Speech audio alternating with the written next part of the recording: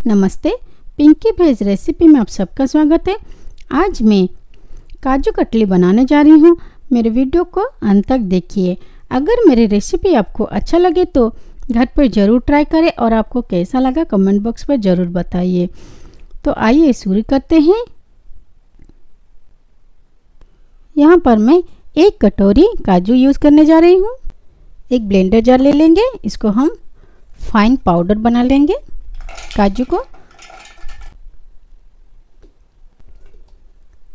ये पाउडर बन के रेडी हो चुका है। अब हम इसको एक प्लेट में निकाल लेंगे।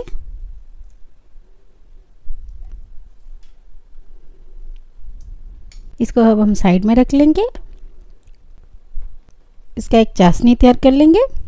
चाशनी के लिए जितना हमने काजू लिया था, उसके आधा कटोरी यहाँ पर मैं चीनी ले रही हूँ।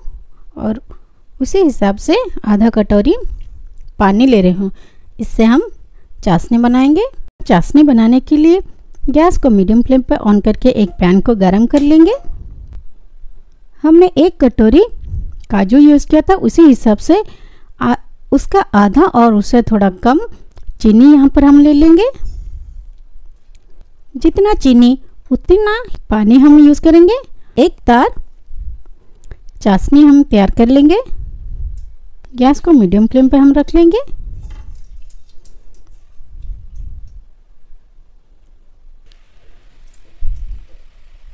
इसमें उबाल आने लगा है। अब हम इसको थोड़ा सा चला लेंगे और चेक कर लेंगे।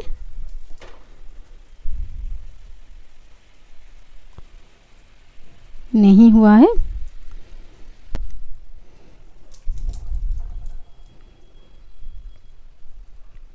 ये एक तरह आने लगा है। अब गैस को स्लो कर लेंगे और काजू का पाउडर हमने किया था, इसका हम इस तरह से मिक्स कर लेंगे।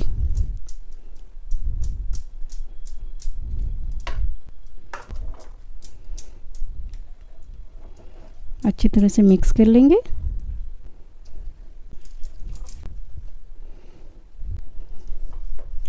इसको थोड़ा सा गाढ़ी कर लेंगे। गैस को धीमी कर लेंगे।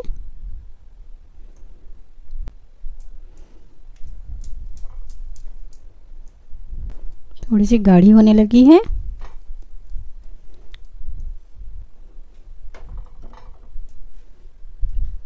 अब हम इसमें एक टेबलस्पून घी को ऐड कर लेंगे। अच्छी तरह से मिक्स कर लेंगे। इसके चारों ओर से निकाल लेंगे हम।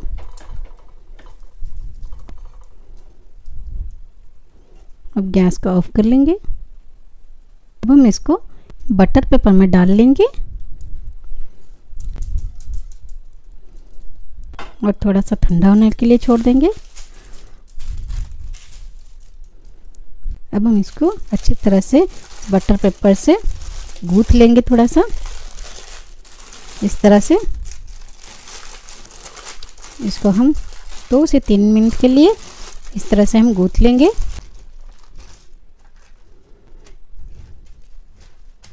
इसको हम अच्छी तरह से गूथ लिया है। प्लेट ले लेंगे। इसके ऊपर थोड़ा सा घी को लगा लेंगे। इसको हम इस प्लेट के ऊपर रख लेंगे।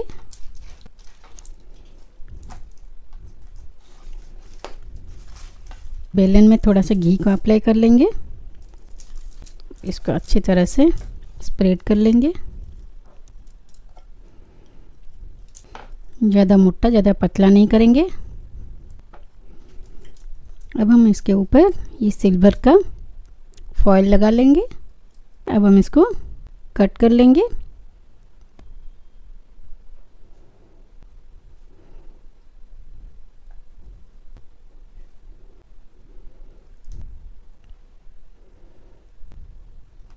देखिए, काजू कटली बन के तैयार हो चुका है। अब हम इसको प्लेट पे सर्व कर लेंगे। काजू कटली बन के तैयार हो चुका है। अगर मेरे रेसिपी आपको अच्छा लगे तो लाइक शेयर सब्सक्राइब कीजिए और पास में जो बेल आइकन है, उसे क्लिक कीजिए। ताकि मैं जब न्यू रेसिपी अपलोड करूँगी तो आपके पास नोटिफिकेशन तुरंत पहुँच जाएगा। मेरे वीडियो को अंत तक देखने के लिए आपका बहुत बहुत धन्यवाद।